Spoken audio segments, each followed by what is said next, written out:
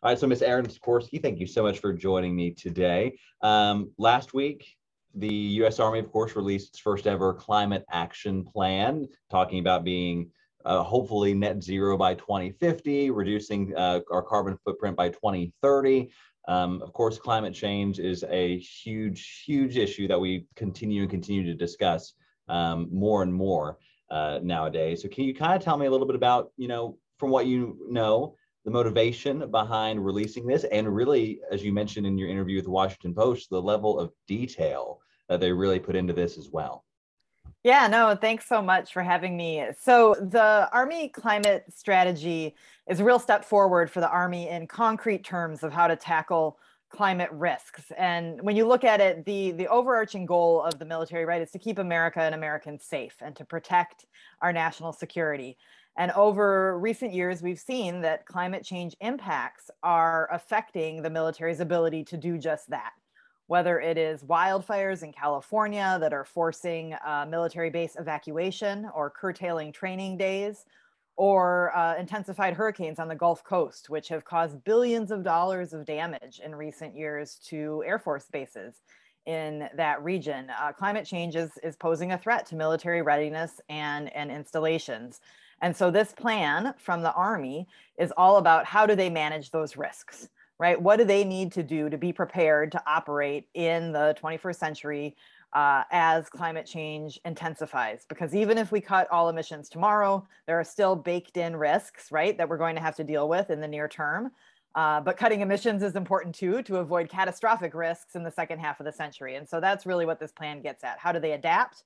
How do they mitigate or cut emissions? And then how do they train their personnel to be able to manage uh, these, these climate impacts?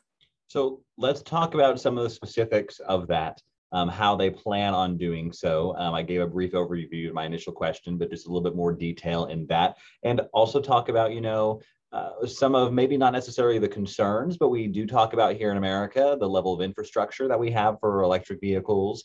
Um, how mm-hmm. a lot of people don't necessarily know that maybe it is already possible for us to make a cross country road trip with the current electrical network, but there's still holes there as well. So, how does the U.S. Army, you know, plan on tackling that not only here at home, but perhaps with operations abroad as well?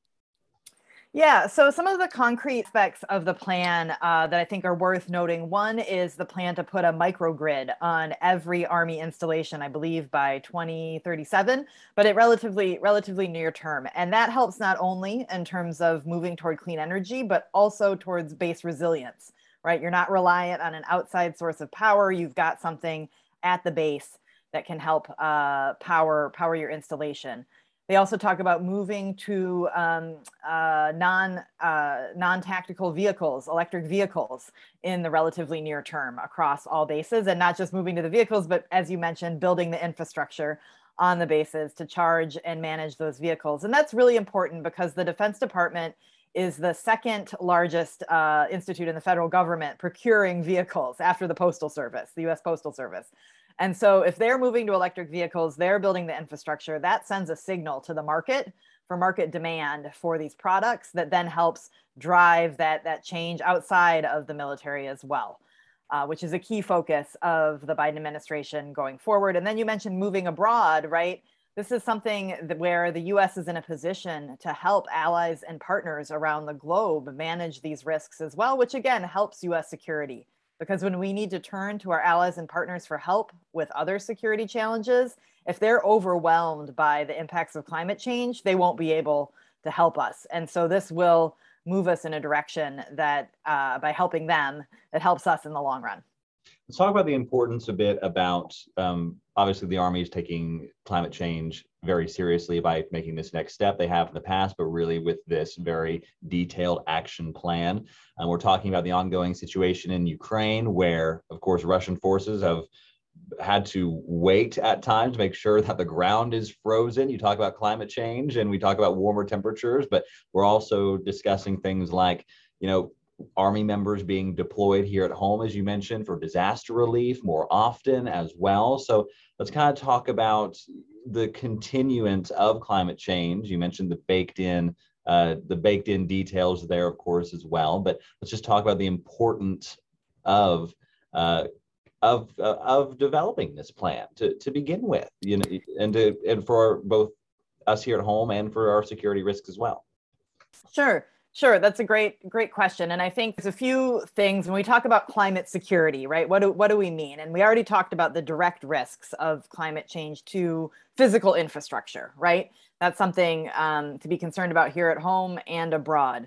But then there's also the risk that climate change exacerbates other threats that the US cares about in, in other countries and regions. So, for example, the risk of terrorism in the Middle East or in sub Saharan Africa. When you have climate change like uh, droughts or desertification, so agriculture is no longer a viable option for communities, that presents an opportunity for extremist groups to increase recruitment, to perhaps put pressure on governments that can't manage the climate risks that are occurring. And that can lead to conflict. It can lead to strengthening extremist groups in ways that threaten US national security. So, understanding those dynamics, building a, a military that can um, uh, prepare for and, and get ahead of some of those dynamics is really important um, and and we see as as water, river basins dry up in certain places or salt water due to sea level rise uh, makes the soil more salty so you can't grow crops in the same way you used to. Uh, that can cause conflict internally within countries the us cares about as well and and put put uh, us interests at risk. And we talk a, a lot about uh, in research that we've done about how the future of war the reasoning for war quite literally could be, as you just mentioned, um, directly related to climate and, and just exacerbating that situation as drier areas get drier, as wetter areas get, wetter areas get more wet. Mm-hmm. Um, so it's something that I found particularly interesting as well. What is your biggest hope for this plan? What makes you most excited about it? And also, what might be a concern um, if, if there's anything that you didn't think that was properly addressed in this plan.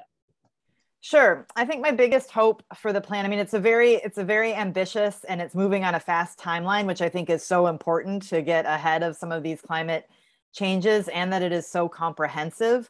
Uh, also that it really makes the case that this is core to the military mission. This isn't extra, right? This isn't instead of something else, but it's actually going to make the military stronger and more capable. I think that's really important, especially to bring folks along who are maybe skeptical that why is climate change a military issue? But you can demonstrate uh, through the reasons we've talked about that that it really does shape the the landscape. Um, in terms of anything that might be missing, I, I, think one of the challenges will be is, is making sure there's follow through on funding support for some of these uh, provisions. There are certain things that the Army can do that won't cost any money in this plan. Um, if the, say, local utility grid in the place where the ba- uh, base is located has already moved to carbon-free electricity, the military can just plug into that and, and get that get that benefit. Um, but there will need to be some funding for some of these provisions as well, and that's where Congress will have to step up and, and provide funding. But I'm confident, given their focus on U.S. national defense,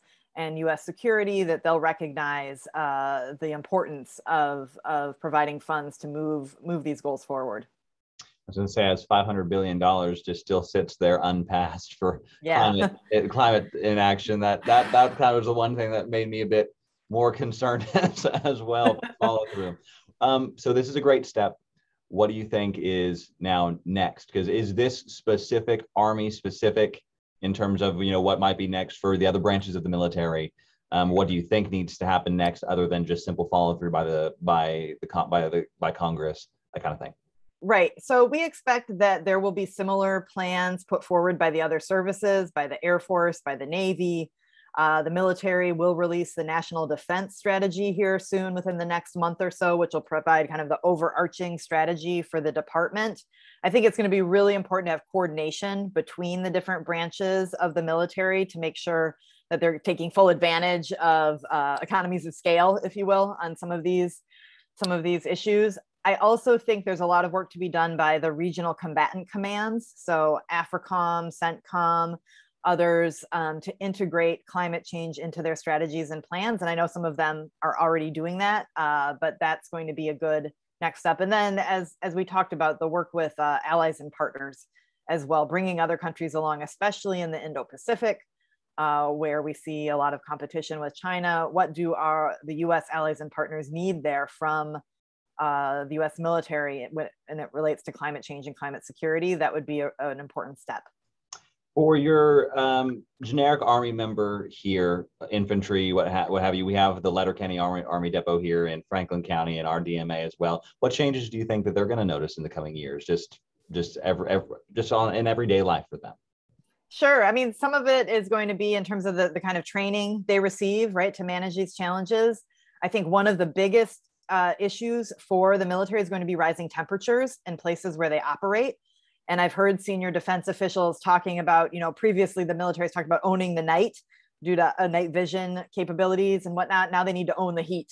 They need to find ways to be able to operate in, in extreme temperatures and not only for the soldiers themselves, but also for their equipment uh, a lot of equipment was designed for previous understandings of the climate, and we need to look forward and and make new uh, new designs there. I think also, you know, the vehicles they they use that will be changing, uh, and and the kinds of of conflicts and humanitarian assistance, disaster relief missions uh, are only going to go up around the globe um, and here at home for the military to support.